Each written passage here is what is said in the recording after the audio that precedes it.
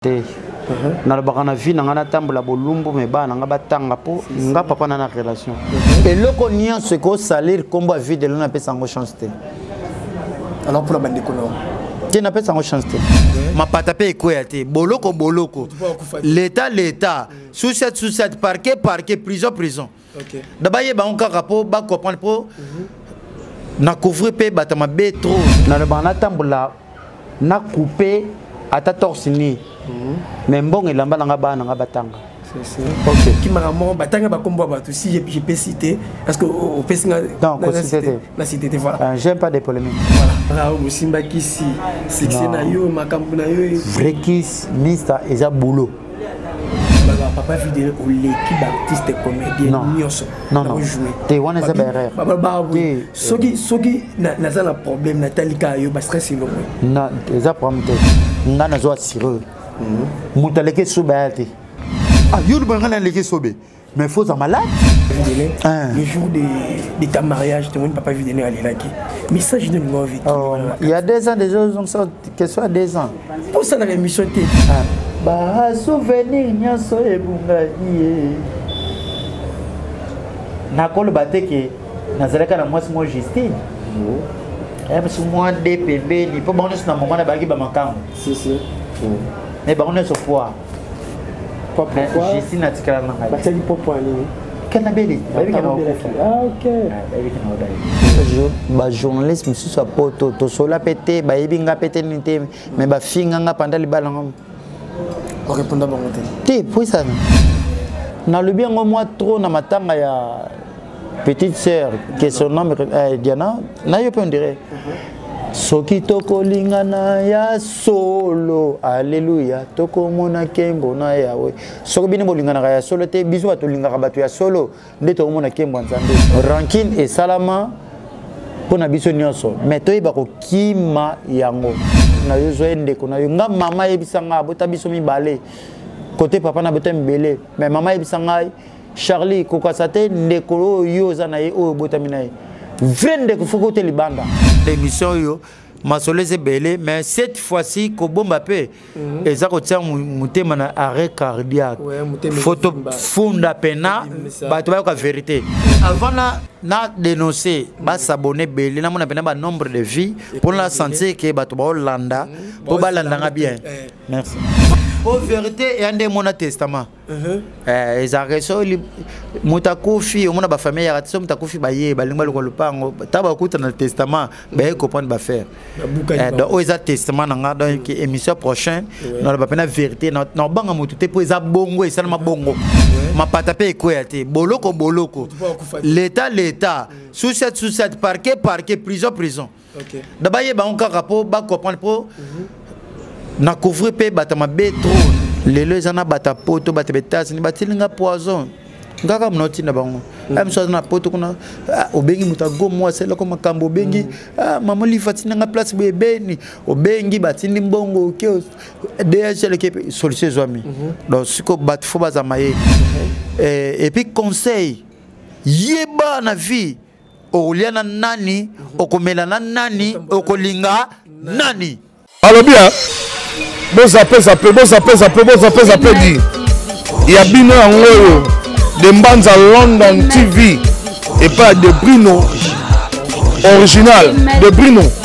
balobi le meilleur site internet oyo ozolobela baverité oyo ekotaka ntina source bainformation ya sport bainformation politique bainformation ya musique bainformation nyonso tout na dembanza london tv botika babiloko wana nyonso tout botala kaka dembanza london tv avec debrino original debanza london tv avec debrino original Je vous salue partout vous êtes dans le monde. Bienvenue dans votre émission 100% vérité. Moi, la moussala, mais c'est famille, ça, c'est la vie, moussala. kitoko wapi toujours au rendez-vous na bainvité na ngai lelo nayambei bino artiste comme il est doué de son talent oyo oh, bino tout bosepelaka bomona ye na bagage mais rare na baémission rare ya koyeba vie na ye quotidien il est à mes côtés manese bilesi oza membre alingana ofongolaka miaka bandeko moke bamona papa videlue ayuna oyo nayambi na mokolo ya lelo bonjour papa videlue bonjour azer mon bof Euh, comment mon beau-frère Patrick ouais, Patrick va Et il y a Jolie Kalungan. Ah, Elle va bien ouais, Et mes enfants à la maison bah, Merci, Binones, vous bien. Hein? très bien nzambe alola apambola nkolo azoba te oh, nzambe abatelaka baoyo ya ye abatelaka baye baye donc merci na eh, papa patrick merci na ya jolie kalunga merci na bana na nga tout tout tout princesse mhm. kalunga mhm. je vous salue donc eh, ton oncle là mhm. hmm? mosala ezoleka ndenge omoni yango ti omoni yango nalingaka baémission te olobi yango na introduction na yo puiske eyaka na mama bozoba moko batoiletage moko biso tolingaka te biso toza baresponsable mhm. bana bazokola bana bakomi na bauniversité bana mosusu bazosisa badiplome d'état bana mosusu mpe ya maternel bazoya donc euh, euh, tokoki kotaka babétrise te biloko yango nyonso mhm. ezongelaka biso ntango mhm. oloba bozoba heure mosusu yo otali yango te mais mwana yango na telefone papa alobaki bétise donc yo mwana tokima biloko wana mais mpa na yo euh, tosola masolo malunga ya motu ya bétise te ya polémique te j'aime pas de polémique donc uh-huh. voilà voilà merci beaucoup eh, papa vie de loin eh, mikolo tokomona vie de loin plus mingi mpe toza mosala tomona kaka okomi komema figure ya mwana na yo mwana ona vie de loin elingi lakisa nini est ce que olingi okotya mpe na art lokola yo mwana yango nani po moi j'ai six enfants ouais. sevi nongi mon manager jubile nongi le pétrolier oh, mais sevi azala na première licence ouais. année prochaine année prochaine ouais. année prochaine ouais. norbengo oya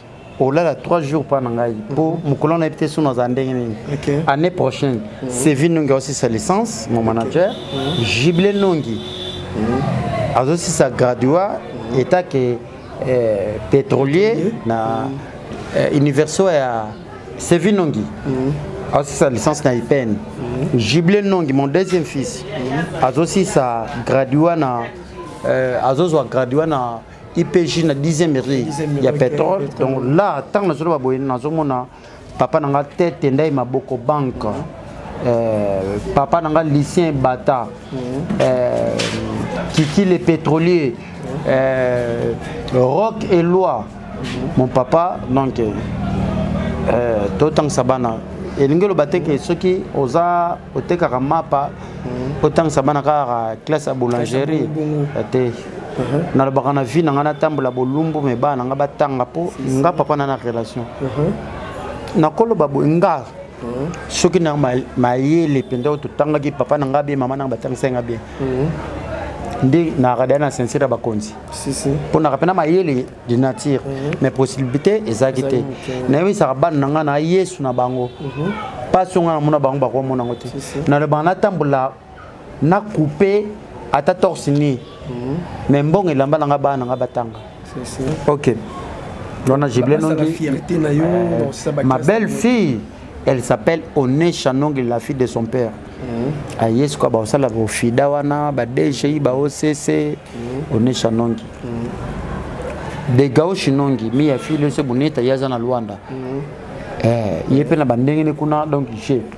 mm. étoile nongi mm. la fille de son père aussi oui. étoile nongi mm. étoile ya moto engengaka ndenge nzambe atinda yango de cinquième fille samuel nongi ye namona aza na sang na ngai ya comédie mm-hmm. mais nako permettre mwana ngai asala comédie te na condition ya mboka oyo eh, ye fo atanga mpe kala kwa bayaya mm. epuis nalobaka nayebisaka bana na ngai nyonso Et Kaïs Lembe Nongi, qui son nom est réponse à paix, mais Namute Mazali, mm. et, et Madame Justine Matador, Matador la patronne, hein, donc Bazawa, Naïbi Saka Maman Bango, euh, Bano Basunga Biso, mm. hein, ndeti boye donc naa mpena kase nzoto mabibi taka na longwa limete nakoma mpena na mitendi mhm. ya da voyage ezaka bakope mosusu mai mpo wana otika bana na l'école onisha otanga na étoile samuel batanga na monga fula mm. na réhabitant mm.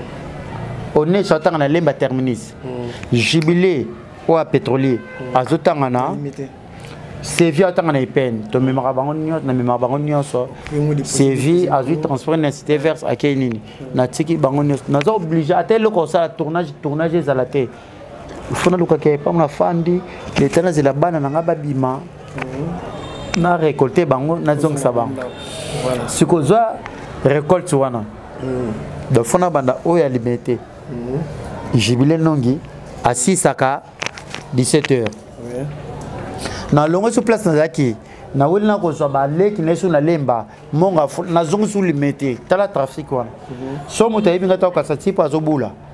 mais naobula mpo na mitu ya bana mpo lobi bazala bato mhm.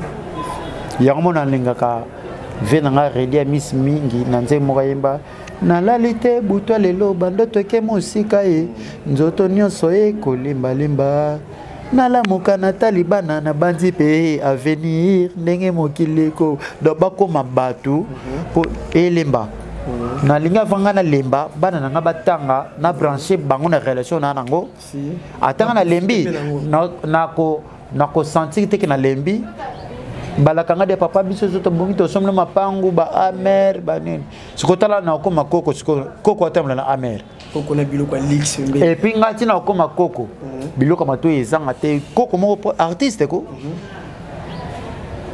epuis ntango na ye o oh, na omela na ngwa suma koko tikoyo na ngwa suma cortège na bana na ye moto ntango aloba te cheche te ngai alinga loyenge te preuve nde nakota bwati nakota bar te bana bakomema ngai na baplace moko ya bacentre ville natakisi baclace ya cher noyeba faut place à classe place à classe sikoyo ntango na nkota liboso na mama na bango justine mata bato kuna bakoko mibange oyo bayesala nini ntango sikoyo bamona bakara bana baokota boye mamae merci beaucoup papa vidéo hein.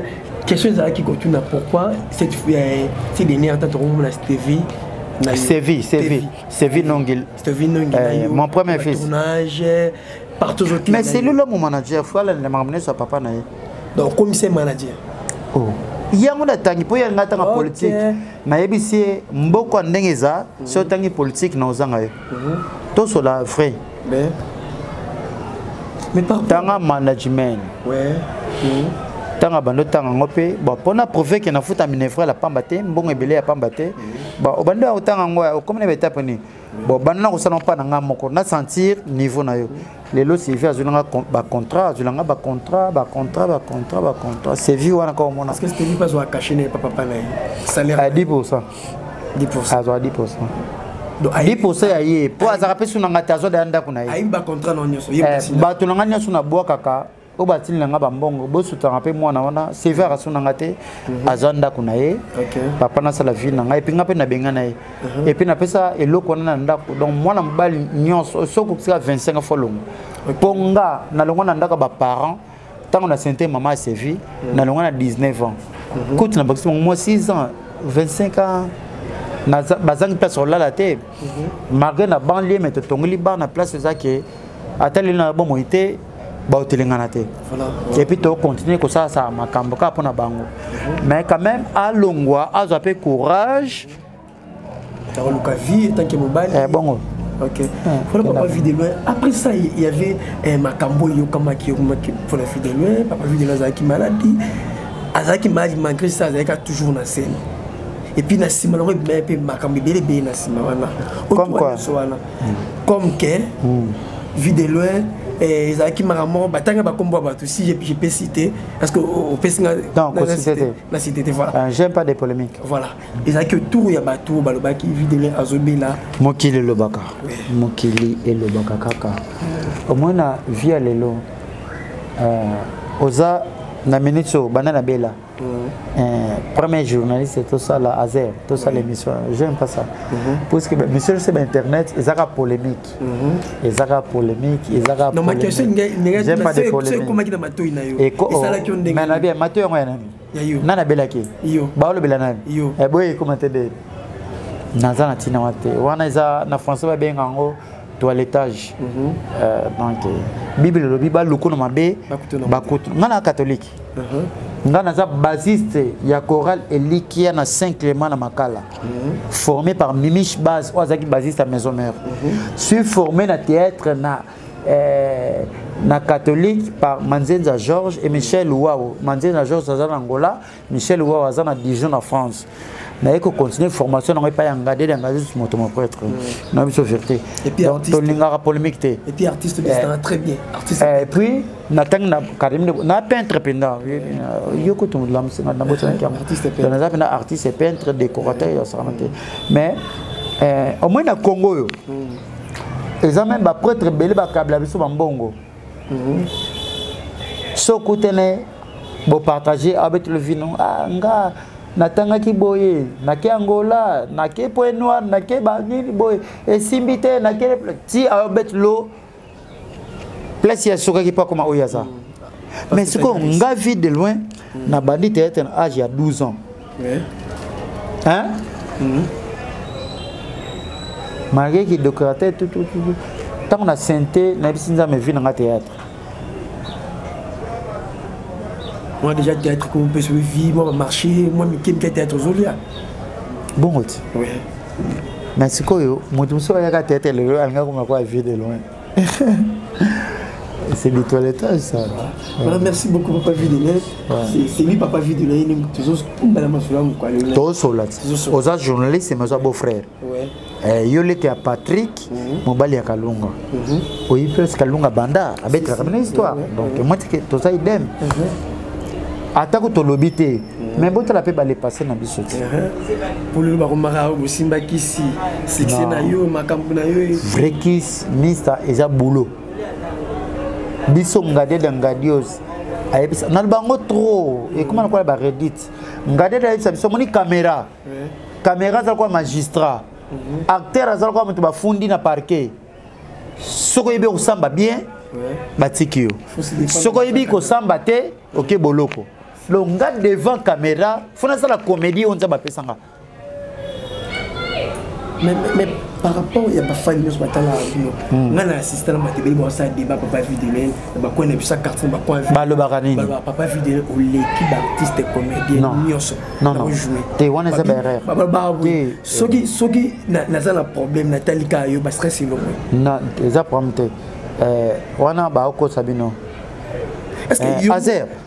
azer oui eh, omoni na eza mpe bagénération na bagénération omoni génération na biso ngai nazo assure mhm. moto aleki esuba ya te napesi mbote ya na ngai ladi esobe phénomène moto aleki esobe aza te moto aleki saisai aza te moto aleki pakalowi aza te moto aleki sundiata aza te est-ce que eza mpe na effort okana osala art yango mpe eza nini eza peut-être boyebaka te eyaka lokola armée hmm. fardes eza mura eza pire ezali police ezali hmm. aner ezali service pisio yanke na yake na kwa na ye yuma na yuma mpe na kwa na ye naleki motu te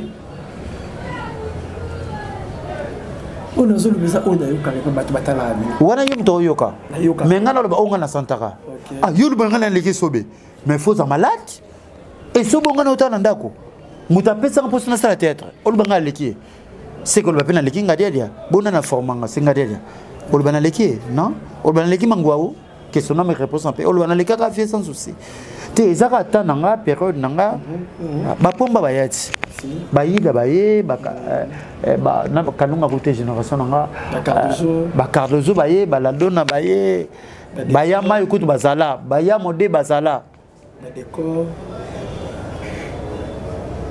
decor elunga mm. avant na la fana natala ye natali mobikisi junior sifo mobikisi natali decor ilunga mm. natali rdis fufunia natali nkela yangani mm.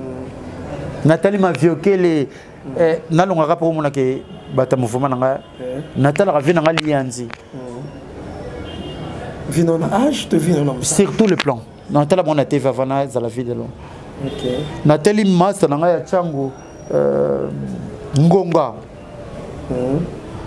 na tali Marie Jeanne Bolole na tali ba ba ba, ba Carré Niamado euh, petit na ngai bango tozwa ata otala bango miguel oh. miguel ntango na osala pa liyanza natali baliyanza Hein? Miguel on entend un artiste à Lianza. Quand la bango, on s'inspire à peine à art na bango, manière na bango. Non. Art eza nini? Art eza tant na baki na leki moto te poani. Po so tika nga vie de loin, oyo zomona ke danger lelo. Non, je nga mon maman te, non, je nga mon tata te, non, je nga mon mwana te. Donc pona je bien Miguel Fazala, Koupir Fazala, Balox Fazala, Mabidi Azala, Aminata Azala. ntango bapesa inspiration ekende ntango yo omonanga danger so otyanganga mona okoka te meme yoka nde oza ntosana émission hmm. soki patrick na kalongo babi bapesa ngai yo so nasani oka 5 gag oyebeli bango osali succès eza rogai te eza likambo nzambe apesa nga hmm.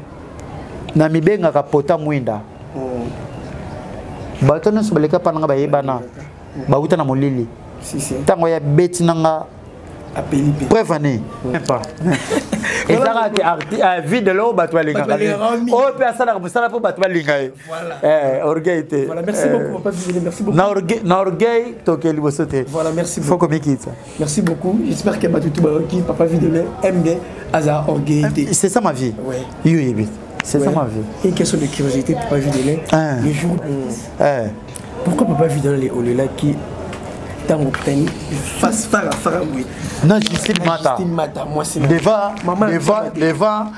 bourgmestre jcka dima ya komina kalamu epuis nakende na commune tete osala na résidence ya jcka dima mobali ya mama tina na bisi bango mbo te basouvenir souvenir ya bien tozalaki na mama justine nakola na mpasi mabele estoma na age ya 17 ans grâce à banzemba redi ya misi bayelokanto mon papa que je salue à passant il est à france Ba souvenir nyonso ebungaki ye.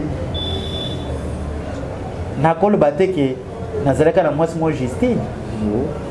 biso mwa de pembeni mpo bango nyonso na moma na bayaki bamakango me bango nyonso poi jesi natikala na ngai batiaki mpo poi nini kena beli bayebiki na okufa bayebiki na odai bayebe bongo ok makanisa bato eza ya nzambe epuis na vie likambo nyonso fo okumisa kaka nzambe mhm. nzambe aza maître ya temps mpe ya circonstance bayeba ngai bakima ngai mhm. eh, mais moto na ngai moko atika ngai te nde justine matador la patrona mhm. eh, ayebisa ngai so nakufa nakufa na yo so obalinga te toboyana te natali le passé se souvenir na ngo ma mise bini ah, nga mona redit uh-huh. redin ba bêtise te uh-huh. ayembaka vie eza kutu wana te meme ti lelo uh-huh. sono mema motuka nayoka redin misi ata na na bana nalelaka nayembaka bana na nga mwasi na nga sur tous les plans mpo na kopia bango espoir ke nalala na etoko na ndako ya pavema te mhm. mais lelo nakoma vie de loin seke bino mpe bokozalaka lokola nga mhm. epuis nayebisaka bana na ngai oyo oh, yesu aloba na bible mhm. bobangaka barafka to te bajoke te banini te bino botalama mituka koleka ngai siko mpo batable longa papufu nzameli batanga bien mhm. namemi bango na barelation nanga yo kasi na minute oyo nake mpena pa grand prêtre gentini ngobila mbaka mpo mhm. nabika otinda nga kaka pa ya levi mpai mhm. ke mwana azala mosala te bapapa na ngai andré kimbuta bamama na ngai olive lembe kabila lelo so na wa vie nzambe asala na nsima mama olive ngai yeyo mama olive lembe ma mama que je sali ya passant euh, donc euh, nasambelaka mpo na mama olive dimanche au soir oleli soki naza boye oyo tozala na émission grâce à mama wana na recommandema ya nzambe mama angele napesi yo mbote mama angele kanam napesi bambote chaque jour so na ye naotika bana nalelaka naka na biloko moko nayebisaka bana mpo ezalaka nayoka banzemba redi naoyembela bana na volant omona mwana mosusu wana te na classe babimisi papa mosusu apangisanga miso nakani bana botanga papa na relation meme nga mosusu natangaka ebele nakozala so te tete relation na nango okomona na ministère moko boye mpe oje mpe makambo mais nzambe abolingo ka na théâtre barelation ezo merci beaucoup papa vidéo est ce que ozala mpe na regret okutana na mosano ebele ebele neti artini esala bino 4 fois poison eya regle te eya regle te fona nayoka mawa te fona lela koma bayeba nga bakosanga boye mais na vie azer mhm. naoyebisi eloko moko kanga ngo msu yano patrick semeki nokalunga ayebisa yo te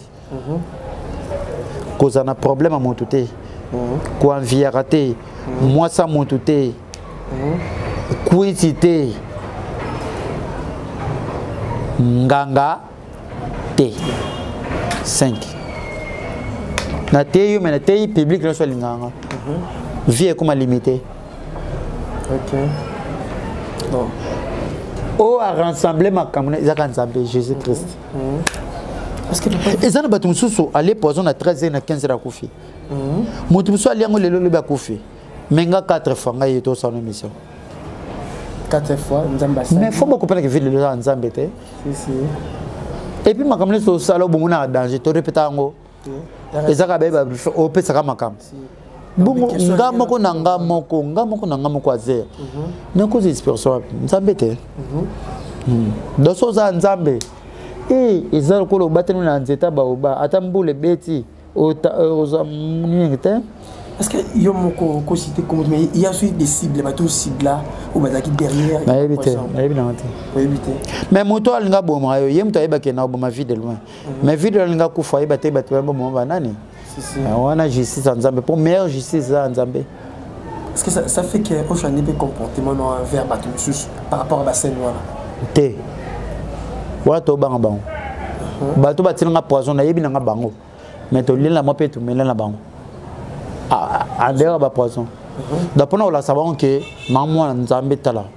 mhm. omoni moto asimba kisi obanga moto asimba kisi mpo ayebi ke ah, place ye asimbila niveau mosusu ngai niveau mosusu babanganaka mhm. anga ah, na mwana nzambe epe nananga na likambo na yo te yo nde moto ana likambo na yo soki nabangelo nini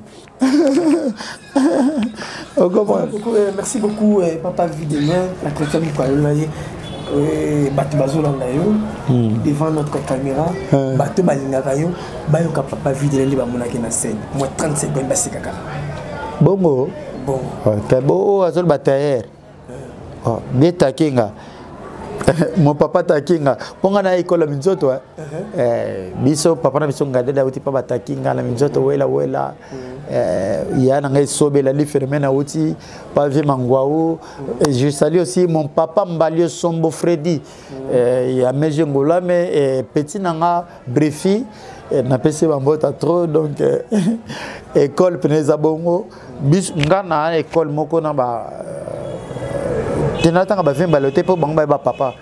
Euh, nga na école ngai esobe euh, brifi te sese auta mpa vie na biso kadiombo eh, que son âme repose en paix na pakalowi na chinola na v12 v12 azobengaka soki na londres na okomprendre mpe yaka saka ndeti nakufa ya solo donc oke nazalaka na bomoi eh, tika na nsimba na rabo donc v12 naolela mpe na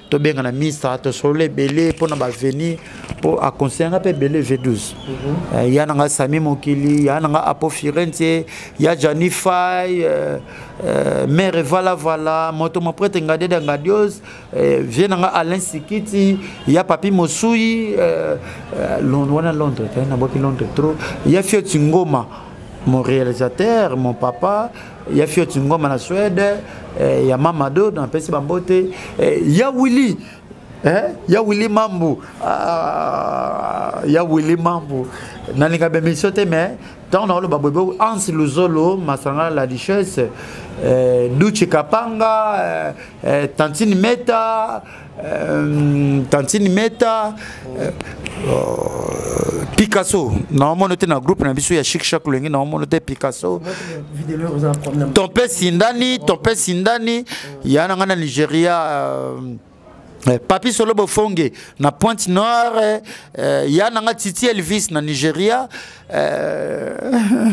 kadogo kadogo de chiksok loyenge eh, mwana moto moprete basoda bango ye kadogo na turquie nayokaki koko akufaki me namoni yango na retard mais condoléance eh, donc eh. baseka nde nasekisaka bango déjà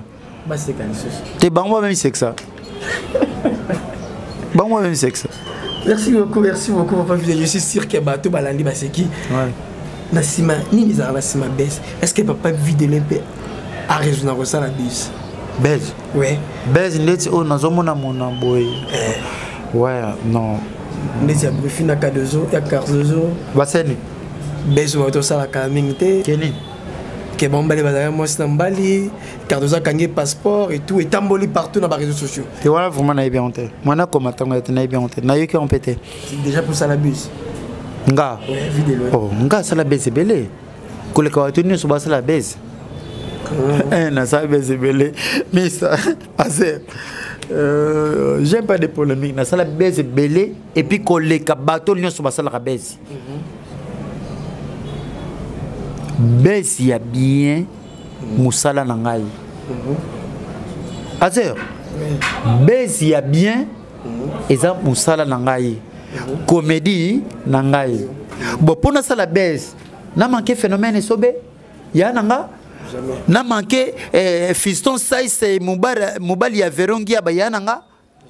mpo nazwa nini bo ntango ngai nafingi esobe nalobi nasala bese nafinga esobe mpo ngai nasala bese nafinga sese mpo nasala bese nafinga président elombe be président bolo be président ngalfa mpo nasala bese bo bato siko balingaka bango bakosepela na nga bon na succès na yo soki ozalaka na 100 pourcent otika na combien de pourcent ya moke 80 mpo bakonzi mpe ntango tosala mosala oyo tomona bese base mpena na nga eza mpo na bato mitu esalaka te mhm. base mhm. ya mpo na bato mitu bon balimbisa nga eh. bon moto na moto akosala base mpo aluka ba bavi na ye agane vi na ye mais luka ogane vi na yo na effort personnel effort eh, personnel balobaka eh, ok ya mosala na osalaka bonga na luka base mpo na manke baya na ngai na ntango na manke mamepela na manke mobikisi soko bato balingaka bango mm. bo ntango yo osala bezo manke bayaya wana na baleki wana mm. eke moto mosusu atali yango kaka mpo beze eza osali mosala na yo moto hey, eh, omoni eloko vide nasali te moto nyonso alandi landi base ekoti banombre de vie mati lare ekoti mais to amanke kingandi amanke kingandi na nga na base nani aperdre yo ok alors base ya mosala base ya mosala osali mosala bien de base yango na bato alandi oh. base yango na ti bon, minsa lelo mpe na tout ça orga ete vantarte mm. so moto ana vue de l'eau na téléphone te seka na téléphone na batouche si. uh -huh. même tiomona même na présidence même na présidence naoloba même na présidence mm. na ntango ya repos mm. baolia na ntango ya repos vide elwa na vide partout na basociété nyonso na babis na makambo loso moto aa na nga te seka na telefone batouche sikoyo nakolunga nakoluka epuis nasala yango ngambo te sur natoyebisa yango la fois passé bon eh, kaka na minisio eleki yango natoyebisa boka nde na boye ngambo na joue mama ngambo na joue cardozo la dona esobe saise non donc mpo nabimisaki vie de loin bato mpe fo bazala baza mpe portant mpo ngai nazala vie de loin seke ngai mpe tana na vie de bango mpe baya portant sikoyo na manke bango mpo wana po esanga nini nazo ah, na manke kalungwa oyo apesanga valeur ya de loin etikala ku uh-huh. o oh, na reconnaissant bato nyonso vide le vide mais lelo motu nyonso komaka ya de loin euta wapi po ya joli te uh-huh. siko moto ya joli bongo naleki na emission na bano manke ntango soko na babike na komanke ya joli te mobali oyo apesi biso valeur Patrick Mbulu na aye na bana make eza koloka osepeli mpo nataki komba ya na te ezaka bongo nyonso tomona mwa eloko ebimi baartiste ekomi entre bango na bango guerre makambo elobami nga na apetia jb piana na peti ya weranson igwe de la forêt eh, na peti ya baprésident ebele ya mboko que ce soit miziki balider ebele baprofesseur ayina mhm. éducation autour ya nyonso polémique ebimaka likambo eyokani miso ya mosusu eza vrai ou ya faux mais tomonaka eh, oreagisaka te olobaka te obeta yango kaka pourquoi ata eleki na monde no ya bacomédie entre bango na bango bazowela eloko entre bango na bango guerre yo leka na media tolobela eloko nyonso ekosalire nkombo ya videlo napesa yango chance te alors mpona bandeko na yo te napesa yango chance te eza na bajournaliste mosusu ya poto tosola mpe te bayebi nga mpe te nini te mai bafinga nga panda libala nga orepondre bango te te mpo esani baoluka base mhm. te nga base ya comique base eza bana nanga batanga bien base nanga ndako elala nzala te base nanga nazanga carburant te base nanga nazanga mega te base nanga oyo eleki babase nyonso relation na ngai mpo théâtre na lar te bozwaka na barelation bato na bino eto bosokosoko aza impoli mpo tosunganaka mpe mhm. ezalaka bacope mosusu kalunga benga yaka tomona moto na ngai moboye mai moto kalunga okoki bomibi na 500 dollars ya na bato ebele mpe na mema bango mpa maboko banke tete ndai maboko banke mobali ya rachel futa meme soki mpe bazwi ba 1000 1000 1000 1000 me ngai nazwi 500 na ntina pourcentage te nakokende yango wapi Merci beaucoup. Mais aucun des cas, quand même, qui n'a 1000, n'a si ma vie de loin. Uh -huh. Président Zel Zel Zidane et Maman Olive. ye kutu ata ngai naza na benga papa eh, moto moko akufi nini charli tosa ndeni papa azozanga cercueil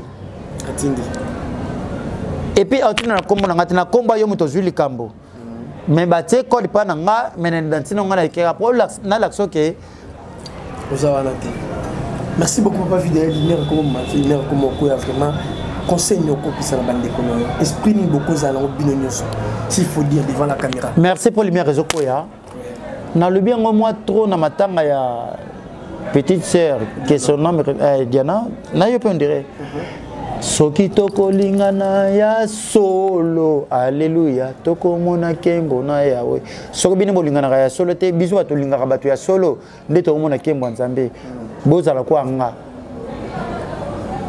rankine esalama mpo na biso nyonso mai toyeba kokima yango motu nyonso aza na entourage na yo zwa ye ndeko na yo nga mama ayebisa ngai abota biso mibale kote papa na bota mibele mai mama ayebisa ngai charlie kokasa te ndeko oyo yo oza na ye oyo obotami na ye vrai ndeko foki ote libanda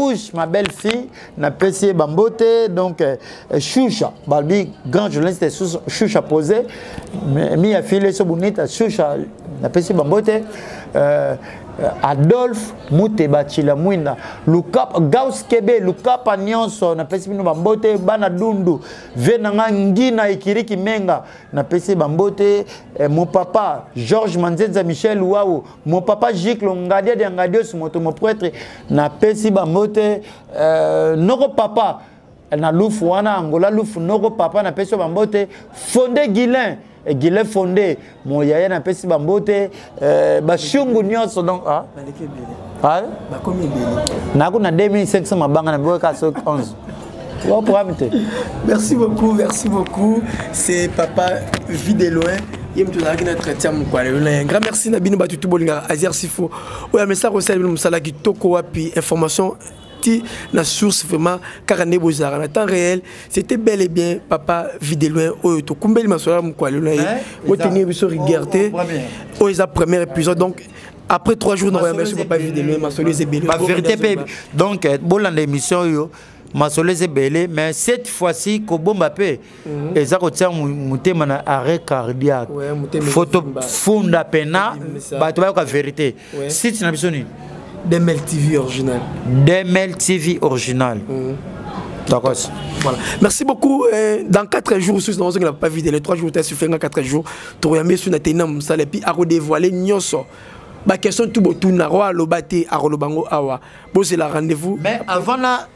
na denoncer ba s'abonner belé na mona pena ba nombre de vie pour la santé que bato ba Hollanda mm. pour ba landa bien eh. merci voilà merci beaucoup boyoki message pas vidéo bo s'abonner au vérité et ande mona testament uh-huh. eh eza reso li mutakufi omona ba famille ya ratso mutakufi ba ye ba lingba lokolo pango taba kuta na testament ba ye comprendre ba faire eh, donc o eza testament na nga donc émission prochaine na ba pena vérité na banga mutu te po eza bongo et seulement bongo Ouais. mapata mpe ekweya te boloko boloko leta leta mm. suset suset parke parke prison prison okay. da bayeba yango kaka mpo bacomprendre mpo mm -hmm. na couvrir mpe bato mabe trop nabombi bango mpo na motema malamu mais na bien azer lelo eza na bato ya poto bato ya baetats-unis batili nga poison nga kaka mona otinda bango mm. aya ah, mosu aza na poto kuna ah, obengi moto ago mwasi eloko makambo obengi mm. ah, mama olive atinda nga place boye ebeni obengi batindi mbongo oke dhl ke solution ezwami mm-hmm. donc siko bato fo baza mayele mm-hmm. eh, epuis conseil yeba na vie okolia na nani okomela na nani okolinga nani à suivre. Voilà, merci beaucoup. Euh, message à Papa Videla, je suis sûr que et comme na ba fanatique na banda kuna bino so bozo maeli ne Papa Videla lobby. Azir si faut la comme na sous 4 etam quoi là. Il y a y a lelo plutôt. Quant à moi, je vous dis au revoir. À la prochaine. Papa Videla lelo a reçu que ça bien na souka. Déjà bossé qui na 4. Merci. Bye. alobi ya bozape zape bozape zape bozape zape di ya bino yango oyo de mbanza london tv epai ya de brino original de brino balobi le meilleur site internet oyo ezolobela baverité oyo ekotaka ntina source bainformation ya sport bainformation politique bainformation ya musique bainformation nyonso tout na de mbanza london tv botika babiloko wana nyonso botala kaka de banza london tv avec debrino original de banza london tv avec debrino original